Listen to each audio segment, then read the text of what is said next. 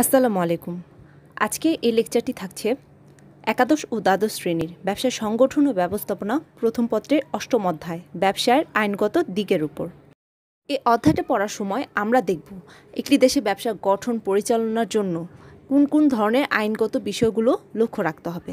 আর ব্যবসা সংক্রান্ত আইনগুলোর একটি একটি না, বলা যায় মূল উদ্দেশ্য হলো ব্যবসা এবং এর সাথে সংশ্লিষ্ট সকল ব্যক্তির অধিকার রক্ষা করা, তাদের স্বার্থ রক্ষা করা।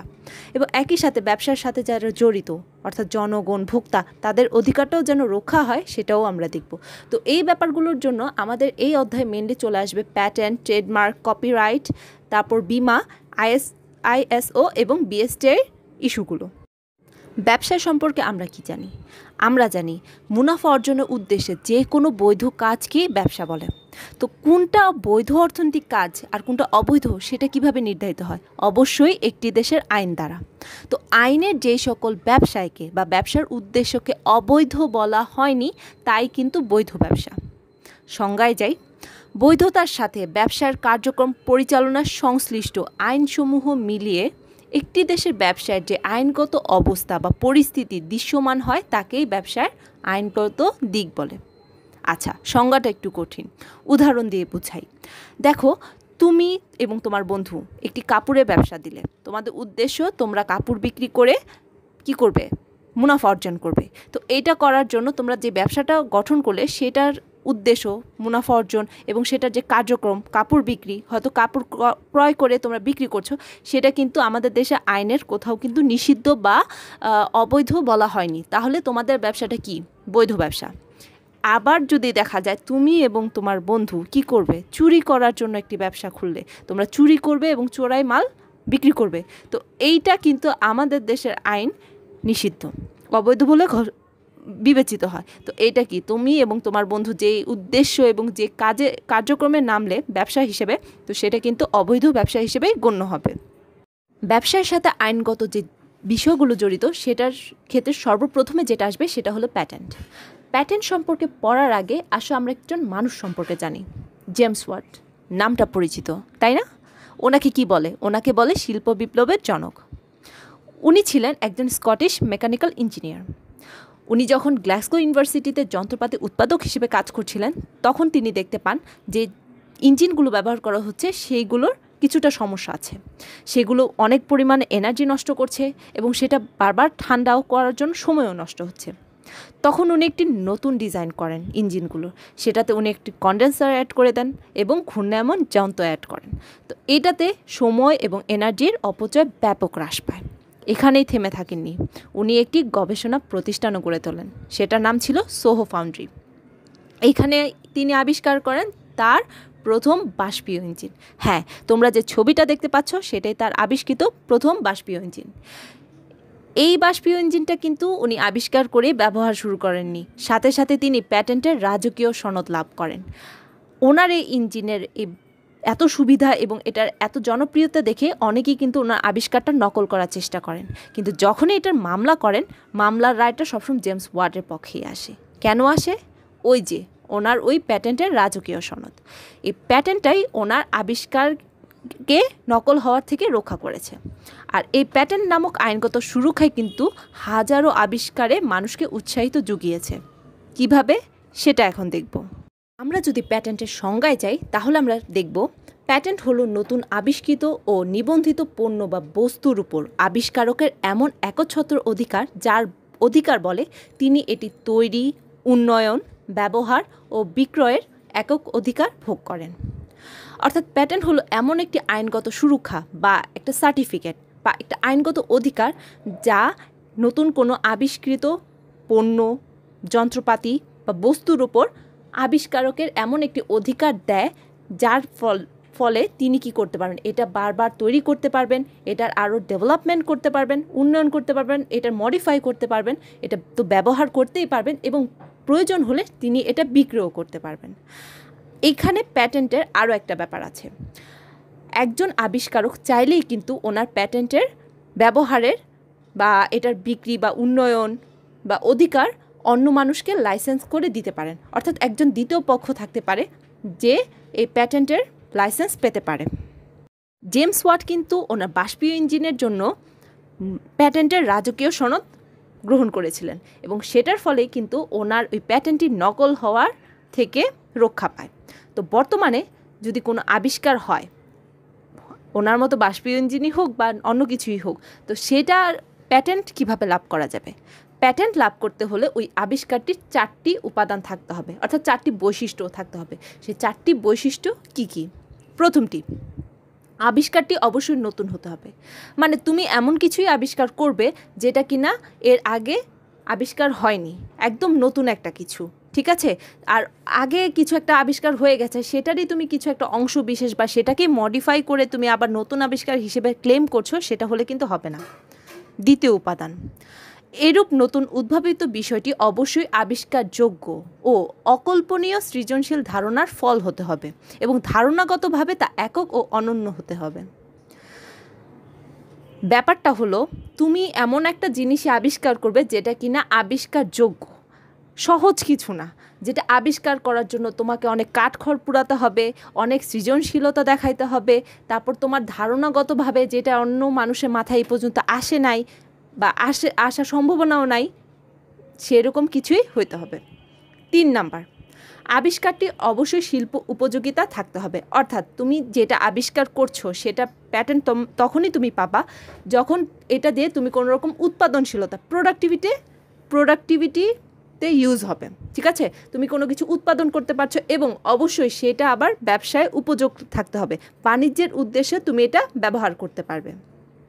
চার নাম্বার দেখো, একটি দেশের আইন দ্বারা বলা আছে, তুমি কি করতে পারবে, কি করতে পারবে না। কোনটা আবিষ্কার করতে পারবে, কোনটা পারবে না, কোনটা আবিষ্কার করে ব্যবহার করতে পারবে, কোনটা পারবে না। আমাদের দেশে মদ, পান করা, মদের ব্যবসা, ঠিক আছে? এটা কিন্তু নিষিদ্ধ। তো তুমি যদি এমন একটা যন্ত্র আবিষ্কার করলে, যেটা কিনা খুব ইজিলি মদ তৈরি করতে পারে এবং খুব ইজিলি মদ সার্ভ করতে পারে বা বিক্রি করতে পারা যাবে, সেটা হলে কিন্তু তোমার কিন্তু এটা প্যাটেন্ট পাবা না। তো এমন কিছুই তুমি আবিষ্কার করবা না যেটা কিনা আইন দ্বারা নিষিদ্ধ বা এর ব্যবহার আইন দ্বারা নিষিদ্ধ করা আছে। ঠিক আছে? প্যাটেন্টের সুবিধা। সংজ্ঞা থেকে কিন্তু মোটামুটি আমরা জেনে গেছি যে প্যাটেন্টের সুবিধা কি কি হতে পারে। যেমন প্রযুক্তিগত উন্নয়ন, নতুন আবিষ্কার ও সৃজনশীলতাকে উৎসাহিত করার জন্য প্যাটেন্ট খুবই গুরুত্বপূর্ণ। এটা না বললে আমরা বুঝতে পারতেছি, ঠিক আছে? আর প্যাটার্নটা বর্তমানে এতটাই গুরুত্বপূর্ণ হয়ে গেছে যে আমাদের যে ইন্টারন্যাশনালি একটা ইনস্টিটিউট আছে, যেমন ওয়ার্ল্ড ইন্টালেকচুয়াল প্রপার্টি অর্গানাইজেশন এটা কিন্তু প্যাটেন্ট দেওয়ার জন্য বা প্যাটেন্টটা যেন সঠিক জায়গায়, সঠিক জিনিসের উপর সঠিকভাবে দেওয়া হয়, এটার জন্য কিন্তু আন্তর্জাতিকভাবে খুব বেশি চাপ প্রয়োগ করতেছে। কেন? কারণ একটি দেশে একটা জিনিস, একটা নতুন যন্ত্র আবিষ্কার হলো সেটার যদি প্যাটেন্ট যদি ঠিকঠাক না দেওয়া হয়, যাচাই না করে দিয়ে দেওয়া হয়, পরবর্তীতে দেখা যাবে যে অন্য একটি দেশ দেশের আরেকজন বিজ্ঞানী, আরেকজন আবিষ্কারক ক্লেম করতেছে যে এটা তো উনি আরও পাঁচ বছর আগে আবিষ্কার করে রাখছেন এবং ওনার যে আবিষ্কার সেটাই চুরি হয়ে গেছে। তো এই ধরনের ঝামেলা যেন না হয়। তো প্যাটেন্ট থেকে কী ধরনের সুযোগ সুবিধা আসে সেটা কিন্তু আমরা বিভিন্ন পক্ষর পক্ষর দিক থেকে আমরা কিন্তু এটা এক্সপ্লেন করতে পারি। মেইনলি আমরা চারটা পক্ষ দেখব। প্রথম যেটা, সেটা হলো উদ্ভাবক, যিনি ওই যন্ত্রটা আবিষ্কার করেন বা আবিষ্কারক। আচ্ছা আবিষ্কারকের সুবিধায় যে সবচেয়ে বেশি, সেটা তো আমরা বুঝতেই পারতেছি। কেন? কারণ উনি যে এত কষ্ট করে, এত কাঠখড় পুড়ে যে এত একটা নতুন জিনিস আবিষ্কার করলেন, সেটার কি একটা আইনগত স্বীকৃতি তিনি পাচ্ছেন? তারপর প্যাটেন্ট থাকার কারণে ওনার কোনো ধরনের টেনশন করতে হচ্ছে না কারোর কাছে অনুমতি চাইতে হচ্ছে না। কোনো রকম ঝামেলা ছাড়া উনি স্বাধীনভাবে যখন ইচ্ছা সেটা ব্যবহার করতেছেন, যখন ইচ্ছে উৎপাদন করতেছেন, যখন ইচ্ছে সেটা চাইলে বিক্রিও করে দিতে পারতেছেন। তো এটার জন্য ওনার কারোর কাছে কোনো রকমে অনুমতি বা ছায় ঝামেলার মধ্যে যাইতে হইতেছে না। তারপর উনি যখন এটা প্যাটেন্টের জন্য অ্যাপ্লাই করবেন, তখন কি করবে? প্যাটেন্ট অফিস নিবন্ধক অফিস কিন্তু নিজ দায়িত্বে, এটা কিন্তু জনগণের উদ্দেশ্যে প্রচার করবে। কি করবে? যে আবিষ্কার হয়েছে সে আবিষ্কার যন্ত্রটা কি? এটার কাজ কি? এটা কি করবে? এটা সুযোগ সুবিধা কি? এটা কোন ধরনের জিনিস দিয়ে তৈরি? এটা প্রসিডিওর কি? এটা মডেল এটার সম্পর্কে প্রায় অলমোস্ট সব কিছুই জনগণের উদ্দেশ্যে জানাই দিবে। কেন? কারণ অন্য কোনো মানুষ যদি একই সময় এটা উৎপাদন করতে থাকে বা এটা যদি কোনো ক্ষতিকর দিক থাকে বা কারও যদি কোনো রকম ক্লেম থাকে, সেটা যেন প্যাটেন্টটা দেওয়ার আগেই ওই প্যাটেন্ট অফিসে জানানো হয়। তো এটা করলে কি হচ্ছে? এটা করলে কিন্তু আসলে ওই আবিষ্কারক ইনভেন্টার তারই কিন্তু সুবিধা হচ্ছে। কারণ উনি একটা জিনিস আবিষ্কার করে যদি ঘরে নিয়ে বসে থাকেন, সেটা সম্পর্কে কিন্তু কেউ জানবে না। আর কেউ যদি না জানে, সেটা সম্পর্কে কেউ কিন্তু ইন্টারেস্টেড হবে না। যখন মানুষ জানবে যে এরকম একটা জিনিস নতুন আসছে বাজারে বা একজন আবিষ্কার করছে, এটাতে আমরা এই এই কাজ করতে পারব, এই এই সুবিধা আমাদের আছে, হইতে পারে, ঠিক আছে? তখনই কিন্তু মানুষ এটা ক্রয় করতে যাবে বা সেটার ইউজ করতে যাবে। আর প্যাটেন্টের উদ্ভাবকও সেটা চাইলে বিক্রি করতে পারবেন। তো এটা কিন্তু উদ্ভাবকের সুবিধা। আর দেখো যখন উনি এইরকম একটা নিরাপত্তা পাবেন যে হ্যাঁ আমি যত যাই হোক না কেন, আমার এই জিনিসটা কেউ চুরি করতে পারবে না। মানে এটার যে মডেলটা বা এটার যে ব্যবহার, উৎপাদন করা, বিক্রি করা ইউজ করার যে আইনগত অধিকারটা সেটা কিন্তু কেউ নিতে পারবে না। যতদিন পর্যন্ত এটা আমার নিজের কাছে রাখতেছি। সো এটা তার সুবিধা। আমদানিকারকের সুবিধা। আমদানিকারক কারা? যারা বিক্রয়ের উদ্দেশ্যে অন্য দেশ থেকে কোনো কিছু কিনে নিয়ে আসে। ঠিক আছে? তো প্যাটেন্ট যখন কোন, যখন কোনো যন্ত্রপাতি বা প্রযুক্তিতে প্যাটেন্ট করা থাকবে, তখন কিন্তু সে উদ্ভাবক চাইলে অন্য কোনো দেশের আমদানি কারকের সাথে একটা চুক্তি করতে পারে। চুক্তি করতে পারে এবং চুক্তির ফলে তারা কি করবে? উদ্ভাবক একটি লাইসেন্স প্রদান করতে পারে আমদানি কারককে।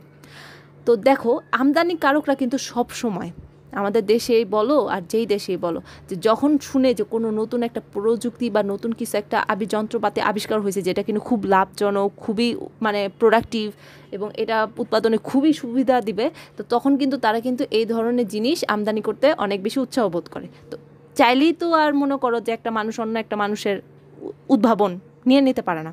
তো কীভাবে নিবে? যখন এই প্যাটেন্টটা থাকবে, তখনই কিন্তু অন্য দেশের আমদানিকারকরা এটা নতুন প্রযুক্তিটা নিতে পারবে। আবার দেখো সাপোজ চীনে একটা নতুন প্রযুক্তি আবিষ্কার হলো সেটা আমাদের বাংলাদেশের আমদানিকারকরা কী করল? প্যাটেন্টের লাইসেন্সটা নিয়ে ইউজ করা শুরু করল। তো আমাদের দেখা দেখি, আমাদের পার্শ্ববর্তী দেশ ভারত, সে তারা চিন্তা করল যে, আরে, বাংলাদেশে তো এই জিনিসটা ইউজ করে অনেক ভালো প্রোডাক্টিভিটি হচ্ছে, অনেক ভালো উৎপাদন করতে পারতেছে তো আমরা কি করব? আমরাও এটা কি করি? আমরাও এটা আমদানি করি। এবং তখন আবার ভারত কি করবে? চীনের সাথে ওইটা নিয়ে চুক্তি করবে।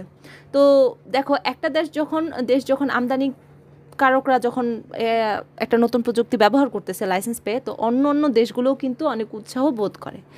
তারপর দেখো, আমাদের দেশে যদি আমদানি কারকরা যদি প্যাটেন্টের মাধ্যমে লাইসেন্সের মাধ্যমে যদি কিছু নতুন প্রযুক্তি নিয়ে আসে, সেটা কিন্তু আমাদের যে দেশের যে সার্বিক উৎপাদন, সামষ্টিক উৎপাদন, সেটাতেও কিন্তু একটা পজিটিভ ইম্প্যাক্ট রাখবে। অর্থাৎ আমাদের উৎপাদনশীলতাও কিন্তু বৃদ্ধি পাবে। আর আমদানিকারক প্রতিষ্ঠানরা কিন্তু একটা আইনগত সুরক্ষা পায়। কারণ তার দেখা দেখি কিন্তু চাইলে কিন্তু অন্য প্রতিষ্ঠানরা এটা কিন্তু ব্যবহার করতে পারবে না। তো ওই যে উদ্ভাবক যেরকম এক ধরনের সুবিধা, একচ্ছত্র অধিকার লাভ করে, ঠিক তেমনই আমাদের দেশে আমদানিকারক যারা এটা নতুন প্রযুক্তিটা লাইসেন্স করে নেবে, সেটা তারাও ওই একচ্ছত্র অধিকার লাভ করবেন। তিন নাম্বার, রাষ্ট্রীয় সুবিধা। দেখো, আমাদের রাষ্ট্রের দায়িত্ব কি? আমাদের রাষ্ট্রের দায়িত্ব হলো আমাদের জন, জনগণের জীবনযাত্রার মান উন্নয়ন করা। আর একটি দেশের জনগণের জীবনযাত্রার মান, দেশটি উন্নয়ন করা, অর্থনৈতিকভাবে উন্নয়ন করা কীভাবে সম্ভব? যখন এটা উৎপাদনশীলতা বৃদ্ধি পাবে, কোন কোন খাতে কৃষি খাতে হোক, শিল্প খাতে হোক, ঠিক আছে? তো এই যে যখন আমাদের কৃষি খাতে, শিল্প খাতে অনেক বেশি প্রযুক্তি আমরা ব্যবহার করব, আমাদের এই সকল খাতে উৎপাদন বৃদ্ধি পাবে, তখনই কিন্তু আমাদের দেশের উন্নয়ন ঘটবে। আর কীভাবে আমরা প্রযুক্তিটা ব্যবহার করব? সবসময় কিন্তু আমাদের দেশে উদ্ভাবন সম্ভব না। অন্য অন্য দেশ থেকে যে নতুন প্রযুক্তিগুলো, নতুন যন্ত্রপাতিগুলো আবিষ্কৃত হচ্ছে, সেটাই কিন্তু আমরা চাইলে আমদানি করে নিয়ে আসতে পারি। এর আগে আমরা যেটা পড়লাম তো যখন এই নতুন নতুন প্রযুক্তিগুলো আমরা আমদানি করে নিয়ে আসব, আমাদের উৎপাদনশীলতা বৃদ্ধি পাবে। আর আমাদের এই উৎপাদনশীলতা বৃদ্ধি পেলে আমাদের দেশও উন্নত হবে, রাষ্ট্র সুবিধা পাবে। আর এই টেন্ডেন্সিটা কিন্তু আমরা চীনে সবচেয়ে বেশি দেখতে পাই। চীনে কি করে? তারা, তাদের প্রথম থেকে একদম নতুন নতুন প্রযুক্তি আমদানি করার খুব ঝোঁক ছিল। হ্যাঁ তারা শুধু আমদানি করতো। যেখানে যা নতুন আবিষ্কার হয়তো কৃষি খাতে শিল্প খাতে তারা এটা কী করতো, আমদানি করে নিয়ে আসতো। এবং এটার যে এতটা সুবিধা দেখা দেখা দেখা দেখি তাদের দেশের অভ্যন্তর যে উদ্ভাবকরাও আছে, এই প্যাটার্ন সুবিধার জন্য তারাও কি করল? তারাও নতুন নতুন আবিষ্কার শুরু করল। এবং যা কিনা বর্তমানে এই চীনকে এমন একটা লিডিং কান্ট্রি হিসেবে রূপ দিল। আচ্ছা আমরা মূল তিনটা পক্ষ, উদ্ভাবক, আমদানিকারক এবং রাষ্ট্রের যে সুবিধা সেগুলো দেখলাম। এখন আমরা দেখব অন্যান্যদের সুবিধা। অন্যান্যদের সুবিধা বলতে আমরা হলো মানে কাদের বোঝাবো? যারা আচ্ছা এটা বোঝানোর আগে আমরা একটা উদাহরণ আছে। তুমি দশ বারো বছর অনেক কষ্ট করে একটা নতুন একটা যন্ত্র আবিষ্কার করলা। আবিষ্কার করে তুমি এটা কি করলা? বাজারে এটাকে ইন্ট্রোডিউস করলা যে হ্যাঁ সবার কাছে এটা ইন্ট্রোডিউস করলা যে হ্যাঁ আমি এরকম একটা কিছু আবিষ্কার করছি, এটা এই কাজ করে, আমি এটা বিক্রি করতে চাই, আমি আর এগুলো নতুন তৈরি করব, আমি তৈরি করব এবং আমি বিক্রি করব। ঠিক আছে? এবং এটা করে তো তুমি ফিনান্সিয়ালি লাভবান হবা। তো তুমি এটা করার পরে, এক মাস পরে দেখতেছো, তোমার ঠিক যা আবিষ্কার করছ যে যন্ত্রটা, সেটার সেম জিনিসটাই অন্যভাবে তৈরি মানে একই জিনিসটা অন্য একটা প্রতিষ্ঠান বা অন্য কিছু, একদল মানুষ নিজেরা বানাচ্ছে, তোমারটা নকল করে এবং তারাও বিক্রি করতেছে। আর এই ক্ষেত্রে তুমি কি করতেছো? তোমার কিছুই করার নাই, কারণ তোমার কোনো প্যাটেন্ট নাই। ক্ষতিগ্রস্ত তো তুমি হইলেই।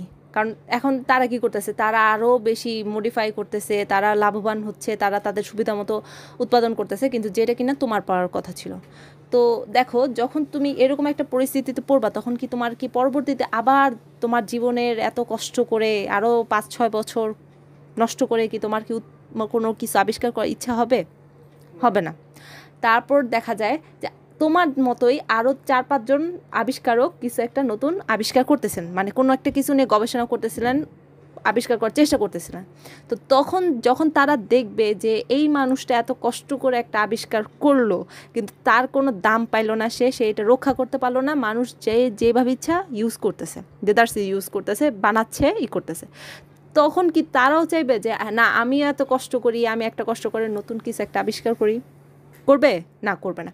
মানে তুমি ক্ষতিগ্রস্ত হইলা, যারা, যাদের পটেনশিয়ালটি ছিল নতুন কিছু আবিষ্কার করার, তারা করল না। তারাও ক্ষতিগ্রস্ত হইল এবং যে জনগণ দেখো তুমি একটা নতুন কিছু আবিষ্কার করলা সেটা সেটা যখন মানে তুমি রক্ষা করতে পারলে না, তো তখন তোমার দেখা দেখে অন্য নতুন আরও কিছু আবিষ্কারক তারা নিরুৎসাহিত হলে, হয়ে তাদের পটেনশিয়ালটি নষ্ট করল। এবং দেশের জনগণ, যারা ভোক্তা, যারা কিনা আসলে আলটিমেট এটা ইউজ করবে পরবর্তী সময়, তারাও কি হলো? ক্ষতিগ্রস্ত হলো। কীভাবে? কারণ নতুন নতুন আর আবিষ্কার কেউ করবে না। প্রথম বছরে দেখা গেল যে দশজন বিজ্ঞানী দশটা জিনিস আবিষ্কার করল। পরবর্তীতে যখন দেখা যায় এরকম খারাপ অবস্থা, বাজে অবস্থা, তখন এর পরের বছর দেখা যাবে যে পাঁচজন বিজ্ঞানীও আবিষ্কার করার চেষ্টা করবে কিনা। সন্দেহ আছে। তো এরকম করলে কিন্তু আবিষ্কার হওয়াটা, সৃজনশীলতা, উৎপাদনশীলতা, উদ্ভাবনী এই জিনিসটা নষ্ট হয়ে যাবে। তো যখন প্যাটেন্ট করা যাবে প্যাটেন্ট আইনের সুবিধাটা নেওয়া যাবে প্যাটেন্ট সনদটা তুমি ব্যবহার করবা, তখনই কিন্তু তুমি তোমার এই সুবিধাটা পাবা বা এই ধরনের নকল হয়ে যাওয়া বন্ধ করতে পারবা এবং জনগণও নতুন নতুন জিনিস পাওয়ার আশা করতে পারে, তাদের সম্ভাবনা আছে এবং মানুষ যারা আবিষ্কার করতে চায় তারাও এই কাজ করা, আবিষ্কারের জন্য এগিয়ে আসবে। প্যাটেন্ট নিবন্ধন। আমাদের বাংলাদেশে বহাল উনিশশো সালে প্যাটেন্ট ও ডিজাইন আইন অনুযায়ী আমাদের প্যাটেন্ট সনদ গ্রহণ করতে হয়। আর এই প্যাটেন্ট সনদ গ্রহণ করার সর্বপ্রথম অধিকারী যিনি, তিনি হলেন এটা আবিষ্কারক বা উদ্ভাবক। আর প্যাটেন্ট সনদ পাওয়ার পরে তিনি চাইলেই এটার ব্যবহারের জন্য অন্য কাউকে লাইসেন্স দিতে পারেন। সেটার ক্ষমতা তার হয়ে যাবে। তো আমরা কীভাবে একটি প্যাটেন্ট সনদ গ্রহণ করব? সেই সনদটা গ্রহণ করার জন্য আমাদের পাঁচটি ধাপ বা পাঁচটি পদক্ষেপ গ্রহণ করতে হবে। প্রথম আবেদনপত্র পেশ। আমাদের প্রথমে নিবন্ধক অফিসে যাইতে হবে। সেখানে গিয়ে আমাদের যে নির্ধারিত ফর্ম আছে, নির্ধারিত পদ্ধতিতে যে ফি দিতে হবে, সেই অনুযায়ী আমাদের কি করতে হবে? আবেদন করতে হবে। ওই আবেদনপত্রে আমরা লিখব, আমরা কি আবিষ্কার করছি, সেটা প্রকৃতি, ধরন সব কিছু সম্পর্কে আমরা লিখব, আবেদন করব এবং ফিটা তাদের প্রসিডিওর অনুযায়ী প্রদান করে দিয়ে আসব। পরবর্তীতে কী করতে হবে? আমাদের আবিষ্কারের প্রকৃতি বর্ণনা।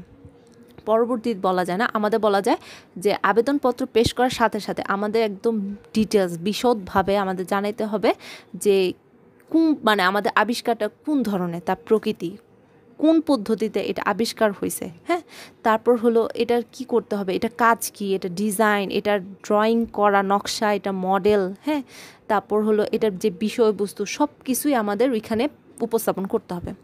কোনো রকমে আমরা অ মানে এটাকে ই ইগনোর করতে পারব না। কারণ পরবর্তীতে আমাদের প্যাটার্নটা পাবো কি পাবো না, সেটা কিন্তু আমরা যে ধরনের ইনফরমেশন দিচ্ছি তার উপরে নির্ভর করে।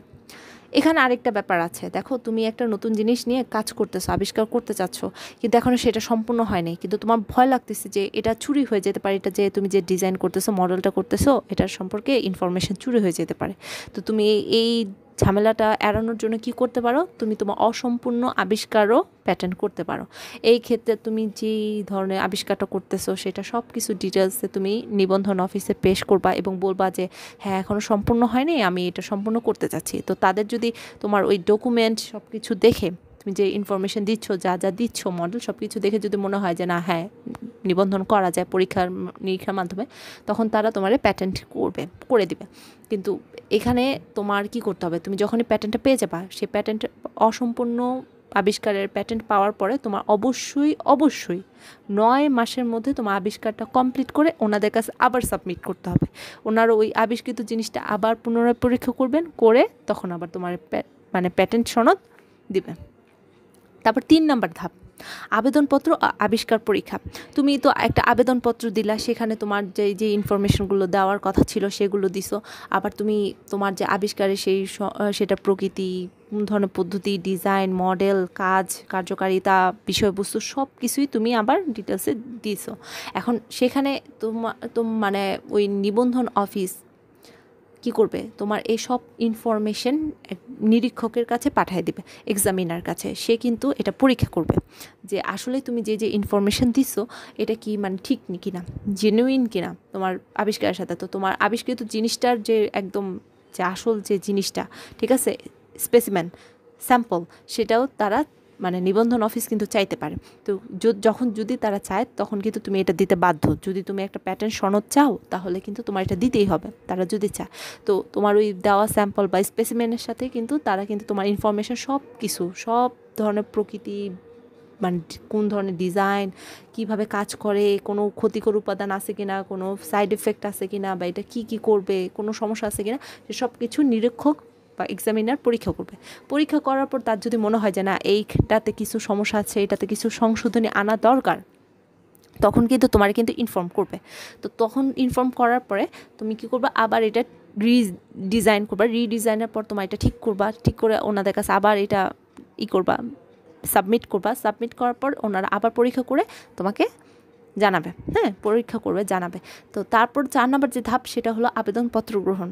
নিরীক্ষক এটা পাস করে দিল আছে হ্যাঁ ঠিক আছে, যা ইনফরমেশান দেওয়া আছে এটা সম্বন্ধে যে ডিটেলসে দেওয়া আছে সব কিছুই ঠিক আছে, আবেদনপত্র এটা গ্রহণ করা যাইতে পারে। তো যখন তারা এরকম একটা সিদ্ধান্ত নিবে যে হ্যাঁ তোমার এই আবেদনপত্রটা গ্রহণ করা হয়েছে বা করা যাবে, তখন কিন্তু তোমার, তোমাকে তারা কি করবে? ইনফর্ম করবে এবং একই সাথে তারা কি করবে? গণবিজ্ঞপ্তি, এটা নিউজ পেপারে হতে পারে। তো নিউজ পেপারে কী করবে? জনগণের উদ্দেশ্যে জানাবে যে এরকম একটা নতুন একটা প্রযুক্তি বা যন্ত্র আবিষ্কৃত হয়েছে। এটা তিনি আবিষ্কার করছেন মানে তুমি তোমার নাম তোমার ডিটেলস বলবে, উনি আবিষ্কার করছেন এটার কাজ এই ধরনের। তো কারও যদি এটার সম্পর্কে কিছু জানার থাকে, কোনো রকম ক্লেম থাকে, সে যেন নিবন্ধন অফিসে এসে যোগাযোগ করে।